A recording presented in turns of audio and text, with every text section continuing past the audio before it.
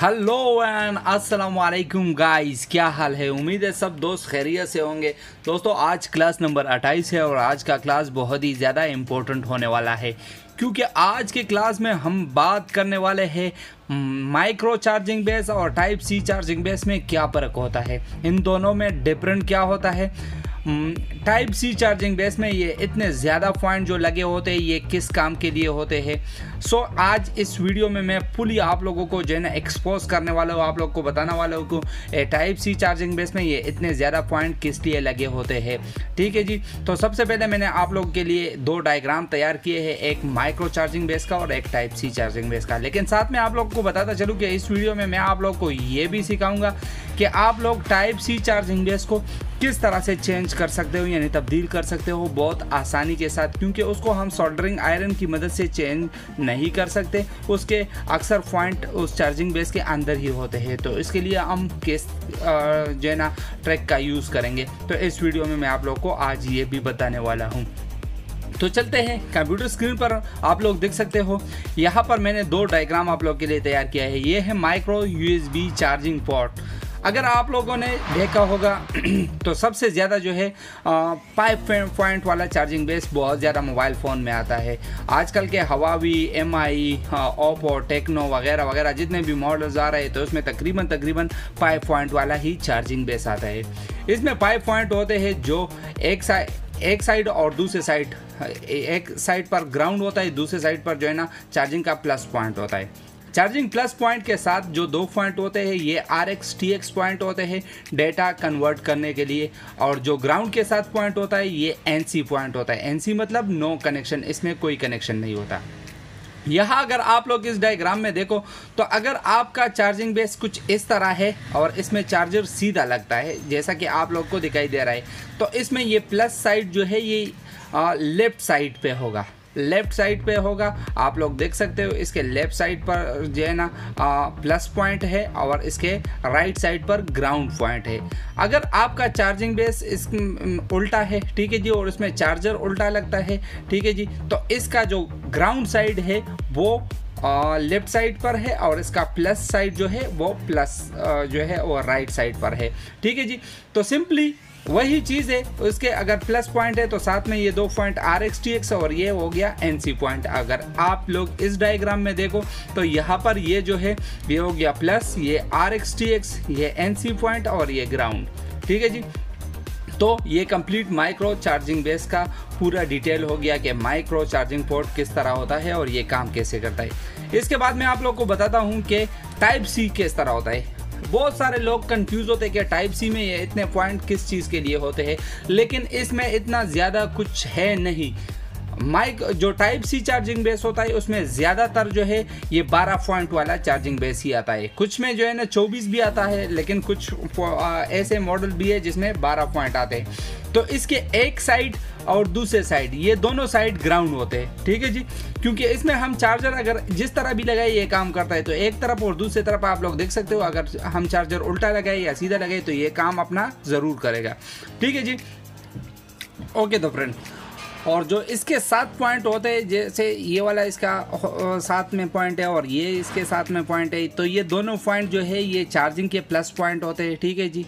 इसके बाद जो दो पॉइंट आते हैं तो इस, इस, इस जो नॉर्मल माइक्रो चार्जिंग बेस होता था उसमें जो है ना R X T X point होते थे। लेकिन इसमें जो है इसमें एस एस आर एक्स और एस एस टी एक्स लगा हुआ है। दोनों साइड पे आप लोग देख सकते हो एस एस आर एक्स और एस एस टी एक्स इसका मतलब है सुपर स्पीड आर एक्स और सुपर स्पीड टी एक्स तो ये स्पीड के लिए इसको लगाया गया है। सुपर स्पीड जो होता है ये उसके लिए इसमें लगा दिया गया है। उसके बाद ये दो पॉइंट है डेटा वन और डेटा टू यानी डी वन डी टू और इस साइड पे भी डी वन डी टू तो अभी आप लोग सोच रहे होंगे कि यहाँ पर ऐसा है कि D1 और D2 जब लगा दिया है, गया है तो एस एस आर एक्स और एस एस टी एक्स क्यों लगाया हुआ है? क्योंकि S S R X S S T X जो है ये सुपर स्पीड के लिए है और ये जो D1 और D2 है ये नॉर्मल स्पीड के लिए है। तो इसलिए इसमें एस एस आर एक्स और एस एस टी एक्स है। तो यही फंडा है इसमें टाइप सी का और कुछ ज़्यादा इसमें है नहीं। अगर जिस मोबाइल फ़ोन में चौबीस पॉइंट आते हैं तो उसमें ग्राउंड दो होते हैं। सी एच दो होते हैं, इसी तरह S S R X S S T X जो है, ये चार होते हैं, ठीक है जी? यही सेम चीज़ें। तो चलो, अभी प्रैक्टिकल की तरफ़ चलते हैं और मैं आपको बताता हूँ कि इसको कैसे चेंज करते हैं। ओके वेलकम बैक फ्रेंड तो आई होप आप लोगों को थ्योरी से जो है ना काफ़ी कुछ सीखने को मिला होगा कि टाइप सी और ग्लोबल चार्जिंग बेस में क्या फ़र्क होता है। तो यहाँ पर अभी जो हमारे सामने पड़ा है, ये टाइप सी चार्जिंग बेस है। इसको अब हम चेंज करेंगे। इसको चेंज करने का तरीका थोड़ा सा डिफरेंट है, लेकिन इसमें इतना मुश्किल कुछ भी नहीं है। सबसे पहले आप लोगों ने सिंपली इसके ऊपर थोड़े से पेस्ट लगाना है, ठीक है जी? फ्लक्स पेस्ट है, ये यूज़ करना है, और अपने हीट गन को 350 सेंटीग्रेड पे रखना है, ठीक है जी? इससे ज़्यादा नहीं।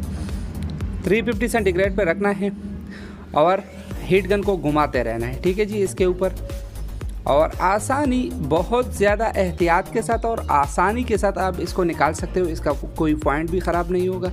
आप लोग देख सकते हो। और ये अपनी जगह से रिमूव हो चुका है। अभी इसके जो नीचे पॉइंट है, इसके बारे में तो मैंने आप लोग को डिटेल के साथ बताया कि ये किस किस चीज़ के लिए होते हैं। तो आई होप आप लोगों को उससे काफ़ी कुछ सीखने को मिला होगा।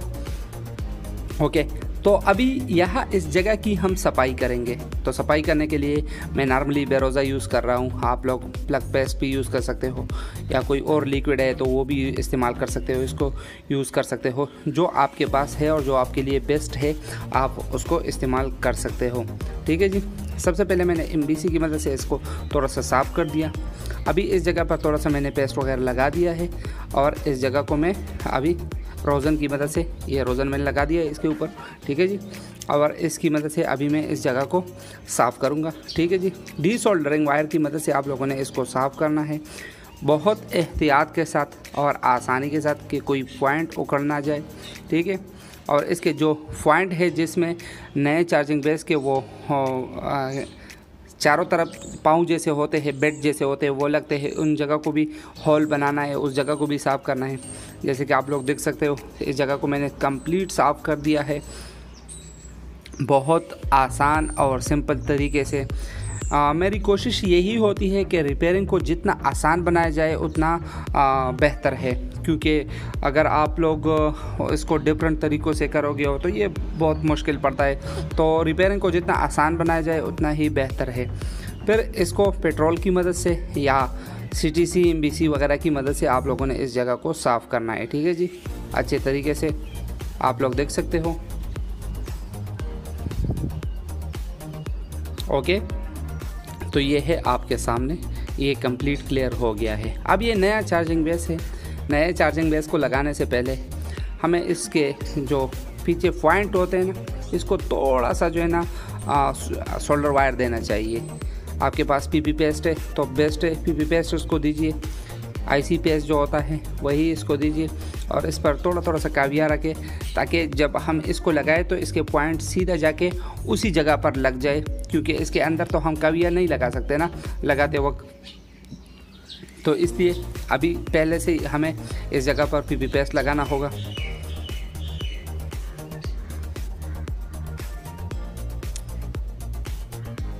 जैसे कि आप लोग देख रहे हो, एक एक पॉइंट को मैं भरोसा दे रहा हूँ। Sorry P P paste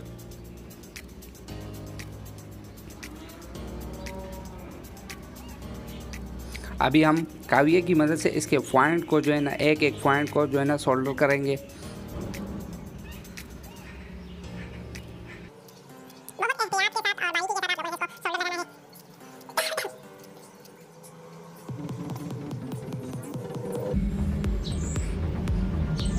okay तो फ्रेंड आप लोग देख सकते हो इसको मैंने कंप्लीट रिसोल्व कर दिया है इन पॉइंट को। ये आप लोग के सामने है। अभी हम इसको नए जो स्टेप है उस पर लगाएँगे। इस नए चार्जिंग बेस को उस, उसी स्टेप पर लगाएँगे और फिर उसको वहाँ पर बिल्कुल कम्प्लीटली मजबूती के साथ लगाएँगे और आपको दिखाएँगे कि ये कैसे लगता है। तो आप लोगों ने इसको सिंपली यहाँ इस जगह पर बिठाना है ठीक है जी? और कुछ ऐसा ख़ास नहीं है, इस जगह पर आप लोगों ने इसको बिठाना है, जैसा कि आप लोग देख सकते हो। ये पॉइंट सारे बिल्कुल ठीक आ रहे बिल्कुल सही है। ये अपनी जगह पे बिल्कुल बैठ गया है, ठीक है जी? आप लोग देख सकते हो। ओके?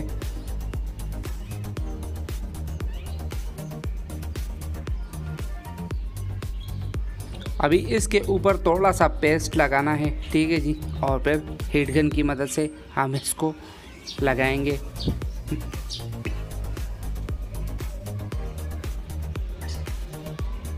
ओके तो फ्रेंड आप लोग देख सकते हो, आप लोगों ने हीट गन को फिर से जो है ना 300 पर रखना है या 350 पर, ज़्यादा नहीं। 300 बेस्ट है 350 पर भी लगाएँगे तो कुछ मसला हो सकता है। 300 पर लगाइए, कोशिश करें।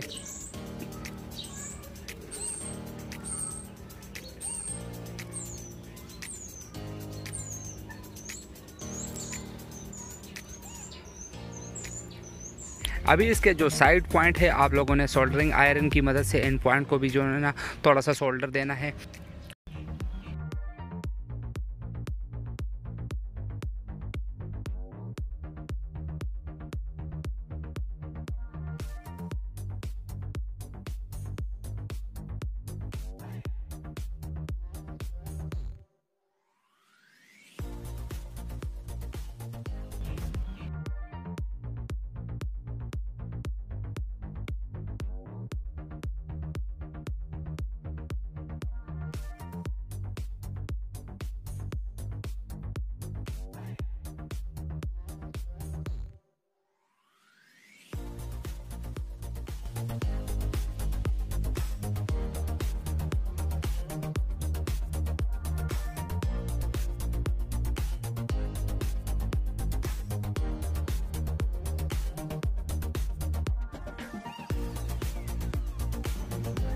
ओके तो फ्रेंड ये लग गया है, अभी मैंने एमबीसी की मदद से इसकी सफ़ाई करनी है।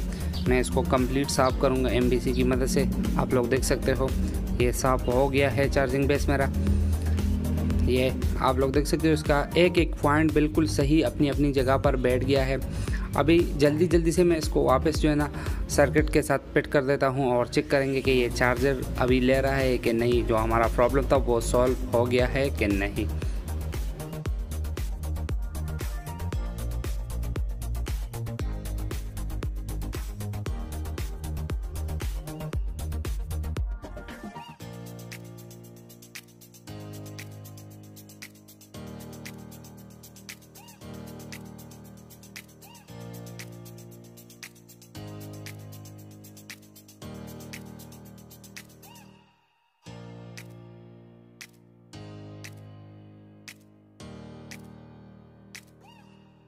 ओके okay, तो फ्रेंड यहाँ पर मेरा जो फ़ोन है वो कंप्लीट फिट हो गया है और अभी मैं इसके साथ चार्जर कनेक्ट करूँगा और इसको चेक करेंगे कि ये चार्जर ले रहा है कि नहीं जो हमारा प्रॉब्लम था वो सॉल्व हो गया है कि नहीं।